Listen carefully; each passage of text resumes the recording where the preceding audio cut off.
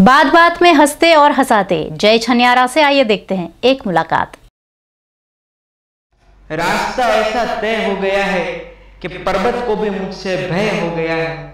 मुश्किलों ने बहुत राह रोकी पर मंजिल का सफ़र तय हो गया है। और जिन आँखों में पैदा होते ही लिखा गया था पराजय वही पराजय आज किस किस कर जय हो गया है। नमस्कार मैं आदिल खान आपका वीरेन स्टूडियो में स्वागत करता हूँ। आज की जो शख्सियत जिनसे हम बात करने वाले हैं, जब मैंने उनके बारे में पढ़ा तो मुझे कुछ लाइन्स याद आई। मंजिलें उन्हें मिलती हैं जिनके सपनों में जान होती है। पंखों से कुछ नहीं होता, हौसलों से उड़ान होती है। फिज़िकली डिसेबिलिटी से उभर कर अपने आप को एक स्टार्डम की तरफ़ ले जाना, वो नाम है जय चनियारा। हम आज उनसे बात करते हैं। जय, आपका स्वागत है वी स्टूडियो में। बहुत बहुत शुक्रिया और वी टीवी देखने वाले सभी दर्शकों को जय छनियारा का प्यारा प्यारा नमस्कार। करियर की शुरुआत जैसे हम कहते हैं एक स्टार्टअप होता है। जब एक करियर शुरू होता है तो आपकी करियर की शुरुआत कैसे रही as a stand up comedian क्या ऐसा था? क्या कोई बैकग्राउंड में या ऐसा फैमिली में कोई था जो स्टैंड अप कॉमेडी करता था? या आप डायरेक्ट फ़र्स्ट रहे फैमिली में? नहीं सर मेरी ज़िंदगी में तो ऐसा बिल्कुल नहीं हुआ कि कोई आ, मेरी फैमिली से स्टैंड अप कॉमेडी करता हूँ। लेकिन मुझे बचपन से शौक था कि मैं जब छः साल का था तब मेरे दोनों पाँव का ऑपरेशन हुआ था अहमदाबाद। तो मैं मेरी मौसी के घर पे था। जी।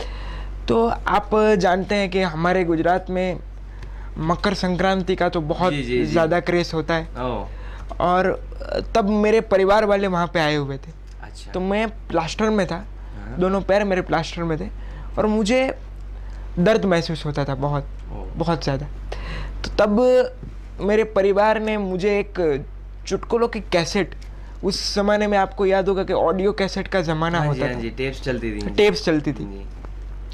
तो मुझे एक चुटकुलों की कैसेट मेरे परिवार वालों ने ला कर दी। हम्म। मैंने वो कैसेट सुनी बड़ा अच्छा लगा मुझे। शाम को जब छोटे छोटे बच्चे मेरे साथ खेलने के लिए आए मैंने जो सुबह सुनी थी वो पूरी की पूरी कैसेट उनके सामने रिपीट कर दी। ओह बस तब से मेरे परिवार और सबको ऐसा लगा कि ये बच्चा इसमें ज़रूर कुछ टैलेंट है और ये इस लाइन में जा सकता है आगे तो मैंने इस करियर में अपना पहला कदम रखा। अ, ये बहुत अच्छी बात है और आपने एक और चीज़ कही कि आपने वो ऑडियो टेप जो था वो सारा का सारा सुना दिया अपने फ्रेंड्स को। मतलब इसका मतलब है आपके शार्प मेमोरी बहुत शार्प है। अ, हमेशा से कहते हैं और कहते आए हैं बड़े बुज़ुर्ग के जब ऊपर वाला एक दरवाज़ा बंद करता है तो हज़ार दरवाजे खोल देता है। तो जब एक डिसेबिलिटी देने के बाद में भगवान ने उन्हें एक ऐसी चीज़ दी शार्प मेमोरी विटिनेस उनके अंदर। तो विटिनेस से मैं आपका एक न- मेरा नेक्स्ट सवाल है कि आपकी बहुत शार्प मेमोरी है ऐसा लोग कहते हैं। जी। तो ये शार्प मेमोरी का कारण क्या है? ये क्या गॉड गिफ्टेड है या बिल्कुल बिल्कुल। ये तो ऊपर वाले मालिक की एक दुआएँ हैं। जी। और मैं बहुत शार्प मेमोरी है मेरी। और अगर आप मुझे दस साल बाद भी मिलोगे तो मैं आपका नाम याद रखूँगा। अरे वाह। ये ऊपर वाले की एक इनायत है मुझ पर जब आप छः साल के थे तब आपने पहला परफॉर्मेंस दिया था। तो तब से लेके अब तक तेईस साल की उम्र तक आपने कई सारे शोज़ कई सारे इवेंट्स जो किए तो वो सक्सेस का जो दौर था वो कैसा रहा? सक्सेस का दौर मेरे लिए बहुत बहुत अच्छा लगा और मैं मालिक का शुक्रिया अदा करता हूँ कि उसने मुझे ये चीज़ दी।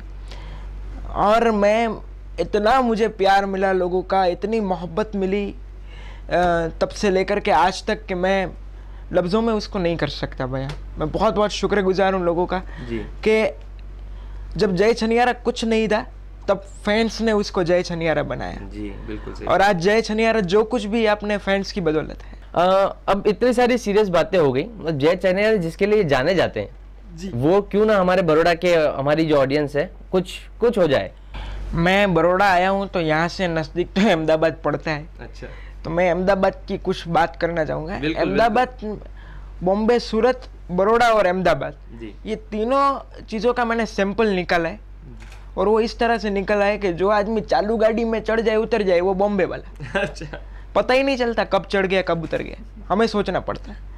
गाड़ी खड़ी रहे उसके बाद उतरे वो वडोदरा और सूरत वाला लेकिन गाड़ी खड़ी रहे उसके बाद पूरा डिब्बा चेक करके उतरे। वो अहमदाबादी। चर्चा को आगे बढ़ाते हैं और एक ऐसा सवाल जो शायद आपसे कई बार लोगों ने पूछा होगा और ये पूरा जो जैज से जय चनियारा का जो एक दौर था और उसके बीच में आपको कई सारे लोग ऐसे मिले होंगे जिन्होंने शायद आपके साथ डिफ्रेंशिएट किया हो। या मतलब एज इन यू नो एक नॉर्मल इंसान और एक फिजिकली डिसेबिलिटी होना तो कई सारे लोगों ने ऐसा किया होगा तो वो वो फेस कैसा रहा? वो जी मेरे साथ ये हुआ था जी। कि जब मेरे साथ ये चीज़ हुई प्रॉब्लम हुई जी। तो जब अ, कुछ लोग मिलते हैं तो वो अच्छी नज़र से नहीं देखते वो एक सिंपति से देखते हैं ओके कि अरे इस बेचारे को ये प्रॉब्लम है ये वो है। लेकिन मैंने कभी हिम्मत नहीं हारी। जब मेरे परिवार में से कोई उदास हो जाता था तो मैं कहता था कि मम्मी पापा चिंता मत करो। आज लोग ये कह रहे हैं लेकिन कल तुम्हारे बेटे को लोग एक अलग नाम से जानेंगे अलग नाम से पहचानेंगे। ऐसी मैं ऊपर वाले से दुआ करता था और वो दुआ कबूल हुई क्या बात है और आज बिल्कुल मैं कहना चाहूँगा कि वो दुआ कबूल हो चुकी है और आप बिल्कुल एक ऐसी जगह पर हैं जहाँ शायद कोई और नॉर्मल इंसान भी नहीं पहुँच सकता था। इतने अच्छे स्टैंड अप कॉमेडियन हैं आज आप और ऊपर वाला आपको और तरक्की दे। नेक्स्ट क्वेश्चन मेरा ये है कि एक शो आपने किया शेखर सुमन और स- सिद्धू जी जी सिद्धू जी के साथ में एक शो किया। उसमें कई सारे बड़े बड़े कलाकारों के साथ बहुत बड़े बड़े आर्टिस्ट। राजू श्रीवास्तव थे और बहुत सारे लोग थे हमने वो शो देखा है। जी। तो वो उसके बारे में आप कुछ बताएँ। वो दौर मेरा ज़िंदगी का सर सबसे खूबसूरत दौर था। क्या वो आर्टिस्ट वो कलाकार वो मेरे दोस्त जिन्हें मैं आज भी भूल नहीं सकता और जब हम साथ में काम करते थे तब हमने इतनी मस्ती की है कि हम मॉल में घूमने जाते थे। कई लोग तो मेरे साथ रात को मुझे चिपक के सो जाते थे मेरे रूम में। तो ये मस्ती ये दौर तो मैं कभी भूल नहीं सकता। और लाफ्टर चैलेंज ने मुझे असली जय छनियारा बनाया मैं ये कहूँगा ऐसा कोई इंसिडेंट या ऐसा कोई प्रैंक किया हो या ऐसा कुछ चीज़ हुई वो वो सेट पे उस दौरान? सेट पे एक बार ये हुआ था कि मुझे अ, बहुत रात हो गई थी देर बहुत हो गई थी शूट में। और मैं क्या मुझे ज़्यादा देर बैठता हूँ तो बैक प्रॉब्लम हो जाती है तो मैं ज़्यादा देर बैठ नहीं सकता। तो इतना प्यार करते थे लोग मुझे वहाँ पे क्योंकि मैं सब कलाकारों के मामले में सबसे छोटा आर्टिस्ट मैं था अच्छा। उस समय में। अच्छा अच्छा। तो लोग मुझे इतना प्यार करते थे कि एक बार तो उनके डायरेक्टर ने देख लिया कि जय कब से बैठा है और शूटिंग में इतना टाइम लग रहा है। हम्म। तो उन्होंने मेरे लिए स्पेशली सोफा मंगवाया। कि आराम कर तू सो जा। जब तेरा टाइम आएगा तब उठाएँगे तुझे हम लोग। ओ शूटिंग के दौरान ही हुआ? जी बिल्कुल हुआ ये। को स्टार्स थे साथ में काम कर रहे थे। उनके साथ क्या कैसा एक तालमेल था उस टाइम पे अच्छा क्योंकि वो तो बड़े बड़े लोग हैं पहले से स्टेबल थे और आप बिल्कुल नए। बड़े बड़े लोग बड़े बड़े लोग हैं लेकिन एक इमेज ऐसी बन गई थी हमारी एक स्टार्डम ऐसा बन गया था कि जब वो स्टेज पर चढ़ते थे तो वो मेरी माँ के पैर छूके जाते थे। मम्मी आशीर्वाद देना। तो ये एक डाउन टू अर्थ इंसान की पहचान होती। जी। कि आदमी चाहे कितना भी बड़ा हो जाए वो अगर अपनी इंसानियत ना छोड़े जी। तो वो बड़ा कलाकार बनता है। तो बड़ोड़ा आप घूमे होंगे? जी बिल्कुल। आए हाँ? बिल्कुल आए बड़ोड़ा आपको कैसा लगता है? बड़ोड़ा बहुत ही अच्छा लगता है मुझे लेकिन यहाँ के ऑटो वाले से मुझे पता नहीं क्या प्रॉब्लम है फिर। साइड देने का वो नहीं। पैर बाहर निकल के साइड देते हैं यार मुड़ना कहीं पे जाना कहीं पे। अभी बड़ोड़ा के मैंने ऑटो में देखा एक ऑटो के पीछे लिखा हुआ था माँ का आशीर्वाद। तो मैं बड़ा खुश हो गया तो मैं उसको खड़ा रखा ऑटो वाले को। मैंने कहा वाह धन्य है तुझे यार धन्य है तेरे ऑटो को तूने माँ का आशीर्वाद लिखा। बोला लिखना ही पड़ेगा ना माँ का सोना बेचकर ऑटो लिया अच्छा ठीक है आगे बढ़ाते हैं हमारा शो और वापस हमारी करियर की लिस्ट पे आते हैं और पूछते हैं कि अब इतने बड़े बड़े स्टार्स के साथ में आपने काम कर लिया है। अब आपके फ्यूचर प्लान्स क्या है? आप कौन सी ऐसी चीज़ है जो आप करना चाहते हैं? फ्यूचर प्लानिंग मेरी ये है कि बस मालिक की ऊपर वाले की फैंस की इतनी दुआ रहे तो मैं इसी तरह लोगों को हंसाता रहूँ और आ, मेरी एक फ़ील्ड है आगे और मैंने दूसरा काम भी अभी शुरू किया है लाफ्टर के साथ साथ जी जी। मैं मालिक की मेहरबानी से सिंगिंग बहुत अच्छी कर लेता हूँ। सुबह अल्लाह तो आप सुनाए तो मैं कुछ? और मैं एक ऐसे इंसान का फ़ैन हूँ आप बताइए सर ईश्वर को कभी किसी ने देखा? साक्षात कभी महसूस किया उसको? उसका कोई रूप नहीं वो निराकार है। लेकिन एक ईश्वर रूपी आवास एक ईश्वर रूपी फनकार और एक बहुत बड़ा इंसान मैंने देखा है। ईश्वर की आवाज़ जिसे मैं कहता हूँ वो रफ़ी साहब है। हाँ। तो मैं उनका बहुत बड़ा फ़ैन हूँ और तेईस साल की उम्र में आजकल के यंगस्टर लोग तो चार बोतल वोत का और ये सारे गाने सुनते हैं हनी सिंह के। लेकिन मैं लेकिन मैं एक ऐसा इंसान हूँ कि मुझे रफ़ी साहब के अलावा कोई सिंगर नहीं पसंद। और मैं उन्हीं के गाने सुनता। तो जय आपने अगर ये बात छेड़ी दी है सिंगिंग की कि आप रफ़ी साहब के इतने बड़े फ़ैन हैं तो क्यों ना कुछ आप हमारे ऑडियंस के लिए सुनाएँ? जी जी बिल्कुल जी। फिल्मी गाने तो आपने बहुत सारे सुने, सुने होंगे उनके। लेकिन उनका गैर फिल्मी एक गाना था तो मैं वो दो लाइन सुनाना चाहूँगा लोगों को। मुझे बहुत पसंद था। तो जय आपने अगर ये बात छेड़ी दी है सिंगिंग की कि आप रफ़ी साहब के इतने बड़े फ़ैन हैं तो क्यों ना कुछ आप हमारे ऑडियंस के लिए सुनाएँ? जी जी बिल्कुल। मैं दो लाइन एक गैर फिल्मी गाना था रफ़ी साहब का तो मैं वो सुनाना चाहूँगा लोगों को। मैं कब गाता मेरे स्वर में प्यार किसी का गाता है है।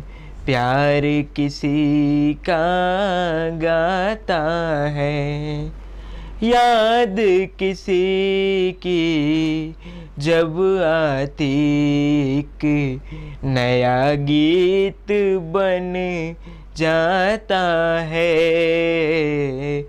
प्यार किसी का गाता है। मेरे पास नहीं कुछ अपना, जो है सभी पराया है। मेरा तन मन, मेरा जीवन किसी और की छाया है। मैं तो हूँ एक तार छेड़ कर कोई मुझे बजाता है। प्यार किसी का गाता है। ब्लेस्ड है, आप ब्लेस सीरियसली मैं कहना चाहूँगा कि इतनी सारी आपके अंदर एबिलिटीज़ हैं। एक और ब्रेक लेते हैं एक जी।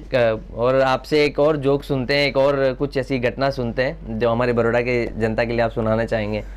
टीवी पे जब आप देखो अभी टीवी का क्रेज है अभी 21 जून को योगा दिवस गया कल जी जी। आप आप सुबह टीवी खोल लो पाँच बजे तो 25 में से 20 चैनल तो ये बाबा लोग रोक के बैठे। आप देखिए एक रामदेव जी महाराज आते हैं सुबह सुबह। जी। आप उनको टीवी खोल लो सुबह सुबह तो है कमाल बाती। कपाल भाती तो हम तो नहीं कर सकते जैसा वो करते हैं। अगर सास बास अटक गई तो क्या होगा? अभी मैं ट्रेन में बड़ौदा आ रहा था तो देखा मैंने दो लड़कियाँ नाखून घिस रही थी। तो मैंने कहा ये क्या कर रही है? बोले नाखून घिसते ना तो बाल बहुत अच्छे उगते तो पास में एक बहन जी बैठी थी उन्होंने मुँह पे रुमाल रखा था। मैंने कहा बहन जी सब घिस रहे हैं तो आप क्यों नहीं घिस रही? बोले क्या बताऊँ बेटा छह महीने तक मैंने घिसा था देखो मुझे निकल आई मैं एक मेरी फेवरेट शख्सियत है अच्छा। राजनीति में जी। जिन्हें लालू जी के नाम से जानते हैं लोग। अच्छा अच्छा। तो मैं उनकी बात जो मैंने लाफ लाफ्टर चैलेंज में भी की थी जिन्होंने जिनसे लोगों ने मुझे जय छनियारा बनाया तो मैं वो बात कहना चाहूँगा आज। अभी लालू प्रसाद यादव ने तो मोदी साहब को कहा हमारे। हम मुझे हिंदुस्तान का पीएम बनना है। अच्छा। मोदी साहब बोले मुझे और कोई टेंशन नहीं है क्या? आप ये नई बात कर रहे हो बोले नहीं मुझे पीएम बनना है। मोदी साहब बोले इंग्लिश सीखना पड़े। बोले मैं सीख लूँगा आप मुझे चिट्ठी लिख दो बराक सर को। तो उन्होंने अमेरिका चिट्ठी लिख दी बराक सर को कि इसको मैं भिजवा रहा हूँ। आप इंग्लिश सिखा देना। उनको तो Barack sir Barack Obama sir tension में नहीं थे तो उन्होंने हाँ बोला। छः महीने तक सिखाया। छः महीने के बाद मोदी साहब को ऐसा लगा कि लाओ मैं फ़ोन तो करूँ बराक सर को तो अमेरिका फ़ोन किया। इंग्लिश में पूछा कहने लगे व्हाट प्रोग्रेस अबाउट लालू? तो बराक सर ने फ़ोन में क्या कहा पता है? ये ससुरा इंग्लिश ना ही बोल पाएगा। काफ़ी काफ़ी अच्छी बातें हुई जय। और अ, हम चाहेंगे कि बड़ौदा शहर के लिए कुछ ऐसा मैसेज है? या कुछ आप कहना चाहेंगे बड़ोड़ा शहर को? बड़ौदा शहर में आप हैं तो ऐसी कोई मैं बड़ोड़ा ने मुझे बहुत चाह सराहा तो मैं उनको एक ही शेर कहना चाहूँगा।